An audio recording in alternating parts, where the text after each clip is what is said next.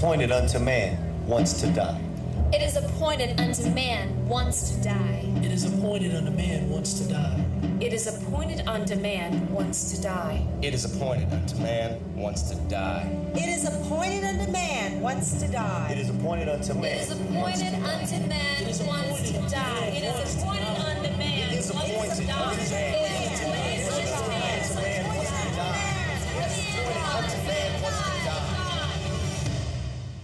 Then the judgment.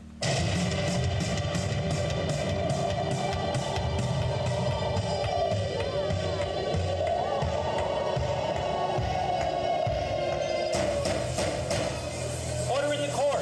Order in the court. I said order in the court. This court finds Richard E. Mahoney guilty of first degree murder, and we sentence him to death. I didn't do it, Your Honor. I was framed. I'm innocent. I'm innocent. Order in the court. Order in the court. How did I, Richard E. Mahoney, end up sentenced to death by electrocution? All I ever wanted was for someone to love me. You know, to care. I never had anyone really to love me. I remember when I was a little boy, my father left us. I never saw him again. I love my daddy. My mama drank. She used to beat me for no reason at all. She'd come home after she'd been out drinking and she. Richard! Richard! Where are you? Do you hear me, Richard? You better not be hiding from me. You'll be sorry if I find you. Mama, I'm right here. Why didn't you come when I called you? I don't know why I work so hard to take care of a lazy, good for nothing brat. Come here. No, Mama. I'm sorry. I wasn't hiding. Honest. Hold still, you little brat. Ow! Uh, Mom, I'm sorry. I'm sorry. You're hurting me. I'll make you sorry. Uh, uh, You'll remember to come next time I call you. Uh, leave the kid alone. We got things to do. Come on, baby. Okay, but you better be sorry, you no good brat. I'm sorry, Mama. I'm sorry. I'm sorry. I'm sorry. I'm sorry. I'm sorry. I'm sorry. Years went by, then one day, when my mother and one of her boyfriends were out drinking, I decided to run away from home. I ran till I couldn't run anymore. I never wanted my mama to hit me again. I was 12 years old when I left mother. You know what? She didn't even care I left. It was scary living out in the streets. I would get so hungry that I'd look through garbage cans just to try to find some food. During the years that followed, I found myself doing things I never dreamed I'd do just to stay alive. One cold afternoon, I met Jim. He saw me huddling beneath an awning in the city park. He must have seen my desperation because he asked me if I'd like to work for him. Hey, kid. How'd you like to work for Jim? I was to be his delivery boy, no questions asked. In exchange for the deliveries, I'd get room and board. Jim was like the father I'd always wanted to have. He'd joke around with me and acted like he really cared. The phone would ring at all hours, night and day. I'd pick up small packages to deliver. Years flew by, and Jim asked me to become more involved with the business. I knew that it wasn't right, but hey, Jim was my friend, my only friend. Who else cared? Nobody. Only Jim. I began to make money, lots of money. I owned things that I only dreamed about. Then one day, everything went wrong. Meet me right away at the old warehouse. The one on the back side of 47th Street. I left immediately. When I got to the building, Jim wasn't in sight. I waited a few minutes and decided to go inside. Jim was never late. The warehouse was dark and smelly. My eyes adjusted as I wandered farther into the building. As I looked around, I caught sight of something that sent chills through me.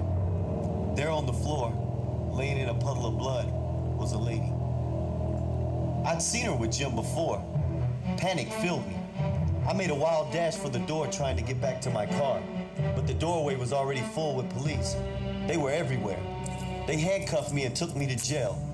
They told me I was being held for first degree murder. Later in court, I was found guilty and sentenced to death by the electric chair, thanks to my dear friend Jim, who betrayed me. He testified against me in court. Lies. I should have known no one really cared. I'm in prison now, waiting to be executed. Hey, you have someone here to see you. I don't want to see anyone.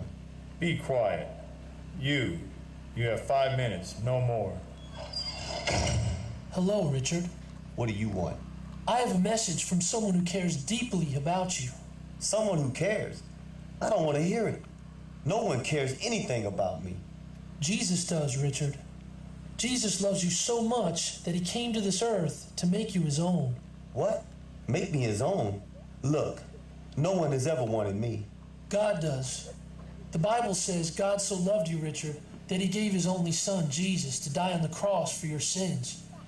And if you'll believe in him, you won't perish in hell forever because of your sins, but you'll have eternal life in heaven with God. Richard, you're about to die, and then you'll stand before God to be judged. Either you belong to him and you'll live forever with him in heaven, or you'll die in your sins and spend eternity in hell, a place of eternal fire and torment. Jesus loves you, Richard. He wants you to be his own. Ask Jesus to forgive you of your sins. Turn from them, and he will make your life new. Why would God want me? I've been so bad. I'm no good. My dad didn't want me. My mom didn't love me. And Jim, he. Your time's up. Could I have a few more minutes? No. Time's up. We have to get the murderer ready. Richard, Jesus loves you. He wants you. Ask Jesus to forgive you. Ask him, Richard, Richard. No one has ever loved me. God, could it be true that you would take someone like me as your own? I'm sorry for all the bad things I've done. I want to be yours. Jesus, take my life. It's time. I'm not afraid anymore. Jesus has forgiven me. I'm his now. He loves me. I don't want to hear about forgiveness from a murdering drug dealer. I was strapped into the execution chair, and great currents of electricity surged through my body.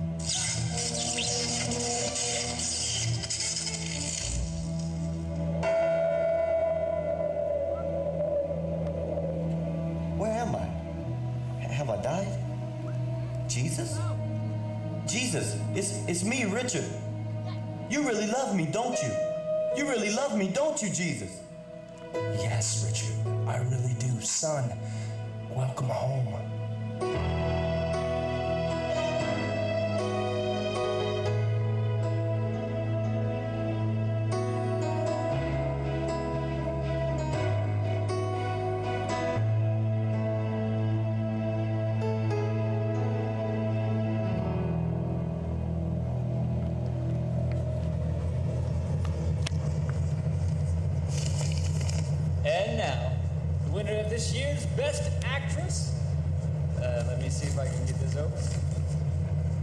Jessica D. Young in A Midnight's Frenzy. Thank you. Thank you. Thank you. I want to thank all the people that made this possible. The producer, Gil Salmon, the crew, and too many others to name. I put a lot of effort into this project, and I have achieved another of my personal goals. Thank you. Who am I? Well, I'm Jessica D. Young, one of Hollywood's brightest stars. I've done nine motion pictures and won all the most coveted awards. I was just awarded number one actress of the year. Again. it seems everything I touch turns to gold. Here I am at the top. Do you know I earn more money in one night than most people make in a year? Do you know why? It's because I'm Jessica D. Young. I've worked hard to get to the top. Delivery for Jessica D. Young. I've got a dozen of our finest red roses from one of your fans. Where would you like them? Oh, just put them in my dressing room with all the others. Sure thing, Miss Young. Excuse me, Miss Young. Can we take your picture? Could I have your autograph? Me too, please. See? They love me. Everyone does. Miss Young, I've got something I want to give to you. What is it? It's a track, a religious track. I'm not interested. I've got everything anyone would ever want. Well, the Bible says, What does it profit a man to gain the whole world and lose his soul? God doesn't want you to lose your soul. He sent his only son, Jesus, to die on the cross for our sins, so that if we would repent of our sins, Jesus would forgive us and we could have eternal life. Did you say repent? Give me a break. You must be one of those born again Christians. I don't want your Jesus, nor do I need him to forgive me of my sins. I'm Jessica Young.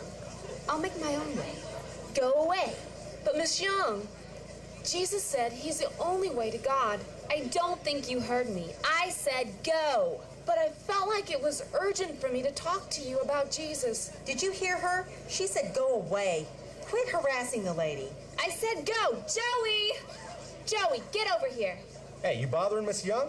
No, I'm leaving. Please, Miss Young, take some time and read the track.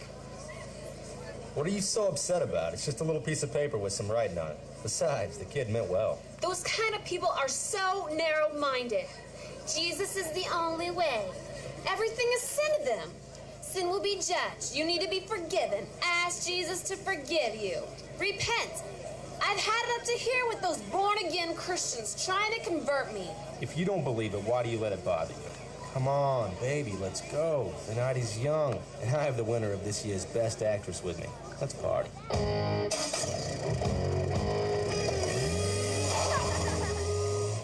My boyfriend Joey and I drove off to celebrate. We danced and drank and danced and drank some more. I was having a wonderful time. Joey offered me some funny looking pills. Hey, baby, you want to feel real good? Try these. I just got these from Frankie, and you know he's always got good stuff. Oh, yeah.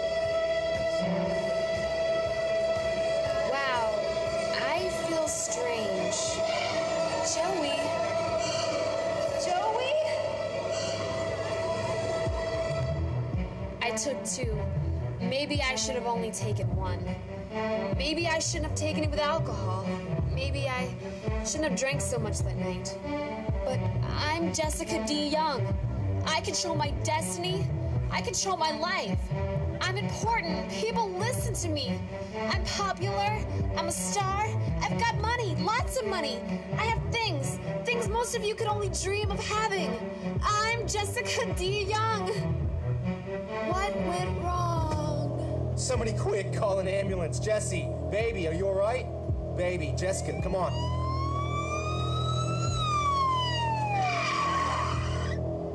Everyone stand back. Jess, come on, honey. You gotta snap out of this. You got movies to do, fans out there. Come on, Jesse. I'm sorry, we've tried everything. She's dead. No! No!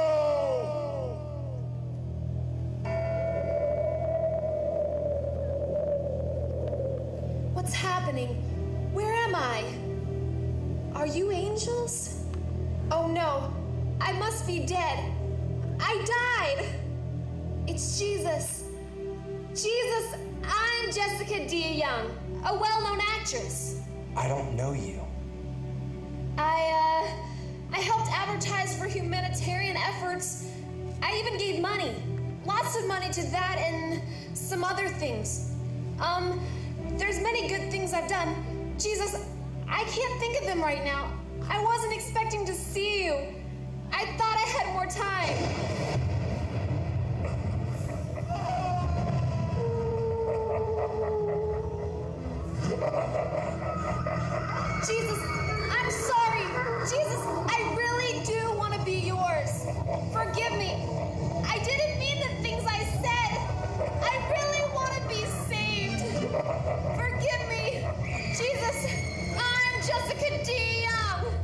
For from me.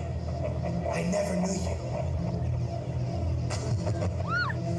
well, well, well. If it isn't Jessica Young, the movie star.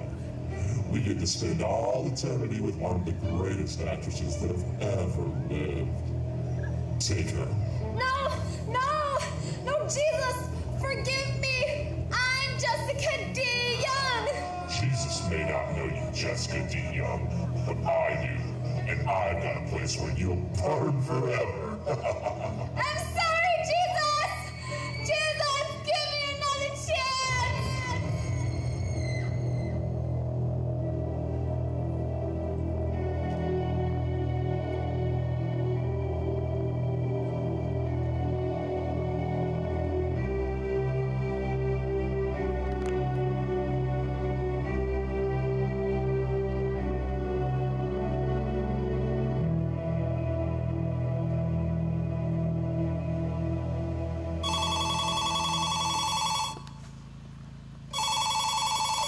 Hello? Mrs. Parks, this is Bradley Williams. What can I do for you, sir? Actually, I'm calling on behalf of our community to thank you for all the hard work you did to make our new recreational building possible. You're welcome, Mr. Williams. I wish all the citizens of our city cared for the welfare of others like you do. You're a fine lady. Well, thank you, Mr. Williams. You will let me know if there is anything else that I can do. I sure will. Thanks again, Mrs. Parks. Goodbye. Who am I? My name is Susan Parks. I'm a devoted community worker, active in the public schools, a busy member in our local church, influential in government of our city. My husband and I donate our finances to our churches, community, and other worthy charities. Honey, the kids won't be home until after nine, so I'm taking you out for dinner. That's wonderful. I do need to go by Mrs. Gulliver's house. She's in charge of the community food drive, and I told her I'd drop off some groceries tonight. That's fine, let's go.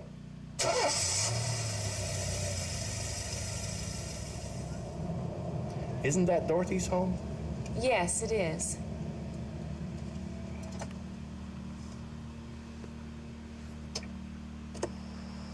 Dorothy should be expecting us.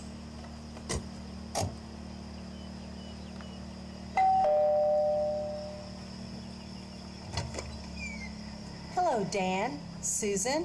Hello, Dorothy. Where can I put these groceries? Right over there is just fine. How is the food drive going?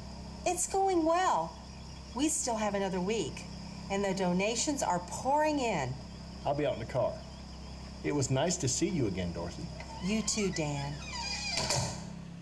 If you need any more help, let me know. I've headed up the food drive in this area for years, plus clothing drives and the. Susan, you're a very busy lady. I'd love your help. But, Susan, I'd also like to help you.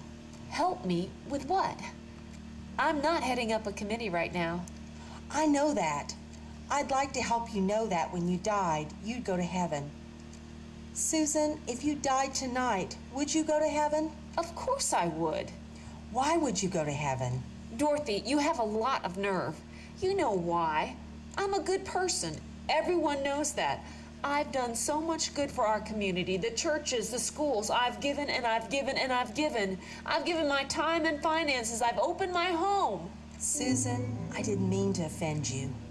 I know you've done many good things, but nothing we do will make us good enough to go to heaven.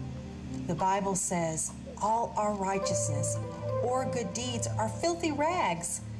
You can't trust in your works to get you to heaven because, in spite of all the good we do, all of us have sinned. Sin will keep us from heaven. God's holy.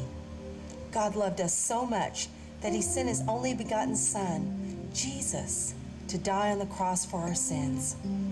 He rose from the dead three days later. Only by giving our lives to Jesus can we be saved from the punishment of our sins.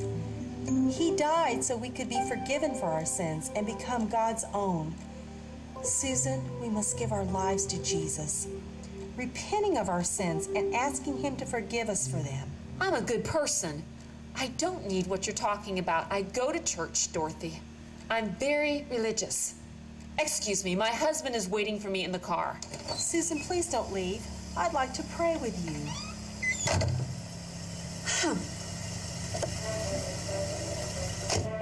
Are you okay? I'm fine. It's Dorothy. She's one of those Jesus fanatics. She cornered me and asked me if I died tonight, would I go to heaven? She has a lot of nerve. I'd say so, especially after we came by to drop off food for the needy. Damn!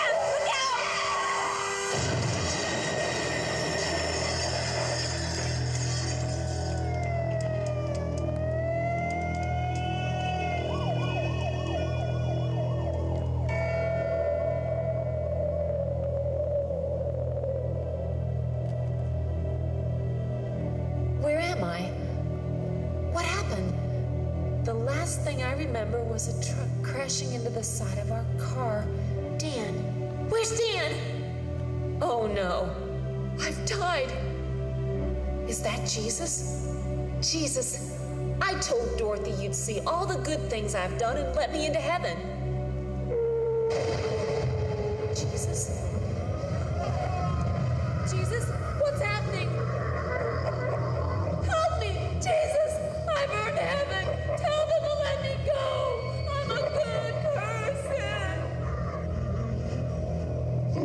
Here. It's Mrs. Goodworks. My, you were the one down on Earth, weren't you? It's too bad your good works won't wash away your sins here. Only Jesus' blood will do that for you. and you've rejected his gift of salvation. You're mine. Now you can pay for your sins forever.